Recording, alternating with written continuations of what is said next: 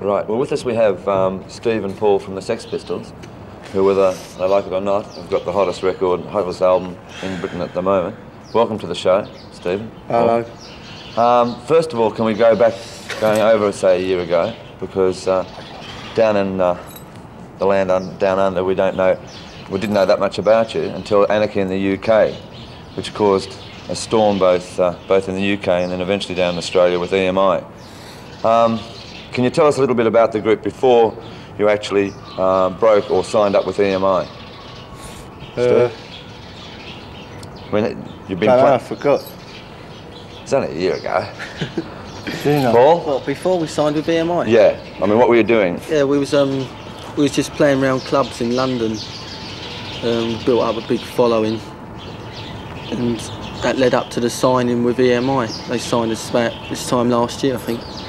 And at that stage, um, w- I mean, was there any aggro as far as the company was concerned? I mean, Who with? with with between the group and the company. I mean, Yeah, all the time. Yeah, as soon as we started, they tried to s- tell us what single to bring out straight away, which was the wrong thing to do. They tried to tell us to bring out, I think it was vacant straight away, but we wanted Anarchy in the UK, and we got it, and they didn't like that, so it was crap right from the start. Now the um, the row with uh, the row with EMI was over um, over really what? I mean, what was the true story behind the break with EMI, Stephen? Don't know, still don't know. It's, there was a lot of things, a lot of rumours saying that, uh, oh fuck, no, they were just scared of us really. Like they, they wanted us at first as a novelty, and like once they got us, they were scared of us. Scared in what respect, though? Well, after that Grundy thing, they shit themselves. They didn't know what to do with us. Yeah. Then we went to, uh, where was it? A&M. Ams- no, Amsterdam. Oh, that's right. And like, What's that? It's a couple of birds. Where? Oh, one of them. and when we um, when we went to Amsterdam, like the press at the airport said we shit and puked up everywhere, and like we didn't. And we got and we got to Amsterdam. We got a letter saying that they wanted to withdraw their contract, so they did.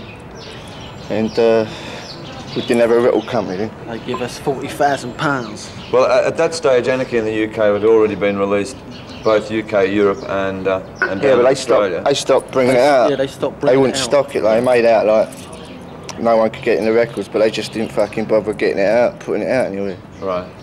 Um, and then after that, there was a lull, and then you were signed up. A up. bit of a lull. Bit of a lull. lull bit of a lull, and you were signed up then with A&M Yeah, for another- a week. for a week. Yeah. for a week. Um, and then again, um, there was all the money thing, and they um, opted out of their contract. Uh, and then I read how um, you as a group were finding it rather frustrating in the sense that all you wanted to do was go out and play and put down a record. Was it that Yeah. frustrating at that stage? Well, Yeah. I wanted to get a rattled out, but like, Yeah. it didn't fucking matter because like, they had all that dough, like, so spent it. And uh, And what, what what actually happened to the money? I mean, did, did you put it away or did you didn't really spend it Spent all? You couldn't. oh, we put it Down in, the pub. put it into funds. Yeah. We give it to charity. we give it to Oxfam. Right. So then after that, so um, punks could get their clothes for nothing. See? Virgin Records uh, signed you up, but by this stage you were sort of becoming uh, cult heroes. I mean, is that what you wanted to happen? No, we wanted. As far as the press was no, we wanted to play. We hadn't been allowed to play. It's right from that Bill Grundy thing. Everyone got really paranoid right away, all the way since then. We just ain't been allowed to play, and it all started from that really. Now, with with the companies, um, the record companies, since I've been over here and just chatting around, there's been a lot of uh, uh, debate about whether, in fact, Bill Grundy was the one that was at fault by edging you all on. Well, no, it's just like if you walk down the fucking road, like me, if someone wants an argument, you give him an arg- argument back, didn't you? Yeah. And like he started it, he said, go on, you get another five seconds. So, what like, did you say, Steve? I just fucking give him a load of abuse, like. Yeah. And he asked for it, didn't he? Were you surprised then the next day when all the publicity hit the, the daily papers and spread right across the world? Yeah, believe it was pretty funny. It's, it's like, you know, they put all that on the front fucking page for all that, just for swearing on the television. We Fucking forgot about it. We forgot about the whole thing. A couple of hours after, and we hmm. didn't expect nothing to happen from it. Okay, now um, a year later, after after sort of being um, with the release of the Anarchy in the UK, you've now been sort of um, hailed as the uh, the leaders of uh, the new wave music or punk rock um, bands. Uh, That's right. but I mean, uh, but there's a million and one around. I mean, what are your opinion now of, of the bands that are around? Well, yeah, well, I mean, like they're trying. I mean, it's better to go and see them Led Zeppelin, isn't it? Or someone like that. Better they want to get involved with something different than what they've had over the past eight or ten years before we started. Yeah. You know what I mean? Has it affected you uh, musically, like with it being recording, songwriting, or anything like that, with all the controversy that has raged over the last, say, 12 months? Yeah, we just like to write songs what upset people even more now. Do you purposely, are you purposely going out to upset people? No, but people upset us, so like we just do everything we can to get on their nerves. Are you, um, are you all, or are you two anti-establishment? Uh, It's up to other people to decide, isn't it? We, Everyone- don't, we everyone- don't go out to say, oh, we're anti-establishment, we're this, we're that. We just do what we wanna do. We're just ourselves. Yeah. people don't like it, tough. Like, for instance, when you brought out God Save the Queen, a lot of people um, in the daily press, and then in some of the cases in the musical press, said you were anti-royalists. Are you anti-royalists? well, I've never met the Queen in my life, so why should I want to know her? Is it big? I mean, do you think, well, let's, let, let's don't go on. bother about it. We don't bother about it. We just don't care about the Queen. She don't give a fuck about us, does she? Yeah, but not bothering about it, then why write a song about it? Why Well, we, not? we write a song about how much we don't like her. Yeah. Um, on that, Nothing wrong with that. It's only a statement, isn't it? Saying Yeah. something what you feel, just because you put it on a record. Now with um, with Pretty Vacant, um, which was probably now one of the easiest going singles to go onto the charts because there was sort of there wasn't the flack that was coming out of the other two. Uh, is that the way you prefer it to be, like just to get on with the music and not worry about so much the the bullshit that, that, Yeah, that but surrounds we, we get bullshit all the time from people. We're just trying to do what we want to do all the time. We just get bullshit all the time, non-stop. But from but from whom? From from your recording everyone, company? yeah. Not just them, everyone. All the press, everyone, all the media, you know. Yeah. I mean, just won't leave us alone.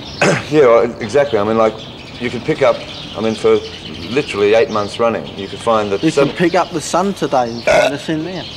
yeah, but I mean, like, like for, for eight months running, like, you found Sounds and uh, an NME, and now even Melody Maker and Record Mirror, Yeah. uh, sort of giving you short space, say, this time a year ago, but sort of claiming you as a, you know, a potentially good group, to now, where we're on the front cover every week. Did you get bored with that? I mean, Well, what was your attitude towards that every The week? music papers. Yeah. Yeah, they, they got nothing better to write about, I suppose, you know. They're just as fed up as writing about all the other, all the old shit groups as it, it just sells their papers, Yeah. putting us in it now. You know what I mean? Yeah. Like it putting us on the front. It just sells their papers. It's a bit, bit stupid, really. Now on the um, on the live side of things, is, is it proving frustrating for you that, that you're unable to play at a lot of gigs Yeah, of for course it is. many reasons? What, that we can't play live? Mm. Yeah, of course it is. We want to play live. That's the idea of being in a group. But we ain't been allowed to. We seem to we seem to have got more fucking successful not playing anywhere than we have playing, but like we want to play, you know. Yeah. What about um, a possible tour? You know, going to either America or to Asia or down to Australia. Well, we're going to Australia sometime next year, but don't know where. Yeah, we're when. starting a, a tour that'll take us all round all over the world. I think next year we should be constantly. Tell them about your mate Constantly out there. touring. Oh yeah, my mate in Australia. You've got a I've mate in Australia. What's his name? Danny. And where do you if think he, he if he's still there, he's on the run. He's on the run, Yeah. is he? I see. I've got a mate out Let's there. hope he's stopped enough to see the telly. I've got, I've got a mate out there as well. Hi, Danny. Now listen, um, His name's Bruce. his name's Bruce. It'd There's a lot of Bruces find. out It'd there, be actually. easy to find, wouldn't it? Um, no, listen. Now back to back to music. on the uh, on the album side, you've just released your first album, and it's gone to number one within a day in England on the British charts, on the albums charts. Does it worry you that you're perhaps too big now? No, we don't like we don't think of it as being famous. I mean, like I still, you know, it's just still feel the same. I don't feel famous at all. Like we just we don't drive about in limousines or anything. We just doing the same things now as we done a year ago. Yeah, but I mean, you might, but the thing is that there's a million people out there that don't think that anymore. Yeah, they know, think that the Sex Pistols, and, and rightly so, are the number one group in the country now. I mean, does, what, what, does it frighten you at all? me, no. No? No. What about yourself? Does it bother you? Uh, I don't, I don't give a fuck. What? I don't care. Has it proved, has it proved to be a hassle though, that, that, that suddenly you've He's shot, my. Fuck you cunt. has it proved to be a hassle that you've suddenly, you know, shot into this sort of status of becoming, Well, it's yeah, it's just like One of them things, isn't it? you know, like if we we started out just being different, so like we're we're getting our, you know, we we sort of like paid our dudes all our fucking life, and like we're just getting something back for it because like we started out, we didn't want to be nice and everything to please it. We just want to do what we want to do. Like now, Yeah. everyone hated us, and then all of a sudden we sort of like become famous through that.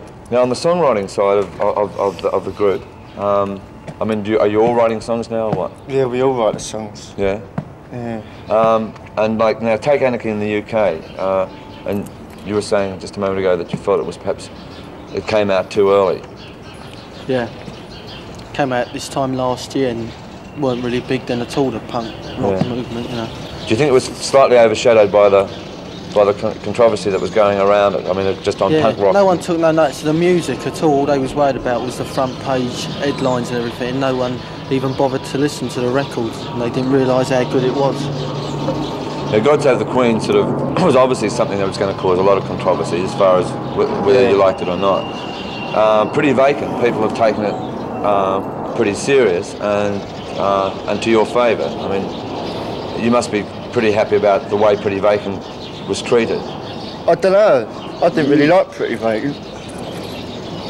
But like, In what respect? You didn't like it musically, or the way it was recorded, or what? yeah, well no, I just didn't like. The, I never liked liked the song that much. I mean, like, everyone else likes it, so like, Um, is it hard for for the group to go in and uh, and reproduce the sound you're getting on stage? I mean, you've got so much energy. I mean, like, is it hard no, in the it's studio? better live than it is on record. That's what I'm saying. It's hard to re- recreate it in the studios, in the recorded studios. Not really. No, because like we argue so much that the frustration comes out when we actually play it and things like that. We, we all know what we want when we go in the studio and what sounds we want, and so it comes pretty natural to us, you know. Now, on um, uh, if I can be a bit personal with both of you, um, What colour pants have you got on? no, no. Don't look at Um, I mean, what did your parents? What did your parents think of it when you first formed the group, and what did they think when this time last year when all the the rage was going on about Parents? Hmm. I ain't seen my mum and dad about fucking four years. Haven't you? What about yourself? Uh, they don't care. My mum really likes really likes our records. She Yeah. likes No Fun the best. Yeah. And what about um, what about when it, when God Save the Queen came out, and then again all the controversy raged, and then the Bill Grundy television thing? Was she worried then? Nah, she used to go round arguing with people in our favour. Yeah. If everyone had a go at her, you know, she used to argue back on our side. She's, you know, they don't care. Now coming to the album, uh, there was a lot of talk that uh, that the group didn't want any of the singles on the album, um, and I suppose one has to believe what they read. Yeah, it's all Bruce's fault. You asked He wanted them that, on the album. Yeah. He made us. And there was also a story how um, at one stage, uh, one of your producers was saying that uh, there were some mislaid master tapes that got washed out in the rain or something like that. What was that? I ain't heard that one. I ain't heard that rumour. Oh, that's a new story. That's a new going one. Yeah, that's a new one going around about the Pistols. Um, are you conti- are you completely happy with the album What now? Yeah. as yeah, far I'm as just glad it's out and everything. It's been such a long time, you know. Yeah. But it's good, it's a good album. It's really Yeah. good. Uh, now the current single, "Holidays in the Sun." Um, It's about an holiday in Berlin. About a what? It's about a holiday in Berlin. We went for an holiday for a week. Melton wanted to get us out of the way for a week. So we just wrote a song about it. And uh, when do you actually write your songs? Sort of when you're rehearsing, or just Yeah, we'll yeah. go down the studio and just work it all out. Like if there's a few ideas, like everyone else puts some ideas into it. yeah. Like, I mean, like there's a lot of arguing. Like, oh, I don't like this bit, I don't like that bit, but like in the end, like you get a song out of it. So it's Yeah. worth it. So what, what, what- what, what can we look forward to from the Pistols over the next six months then? Now that you've got this album out of the way. Uh, touring, playing as much as we can. Yeah. We're doing a big like tour. Is it worldwide or what? Yeah, as many Yeah, countries as we can go to tour. next year. Yeah. It'll probably be Australia. Well, it will definitely be Australia in that and all. And obviously you're looking forward to that then. Yeah, Yeah. bit of sunshine.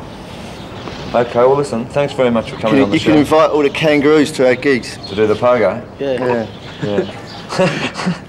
Um, Put a thanks, safety pin in the earhole. thanks for thanks. Could you imagine kangaroos with safety pins? They Whopping do around? pogo, don't they? Yeah. Thanks for coming on the show. Um, you, you've been made out, and especially down in Australia, as being the um, the most impossible group to get along with. All I Well- can say is it's been a pleasure talking to you. We're reasonable. Yeah, not bad at all. I wished I could say the same. Thank you.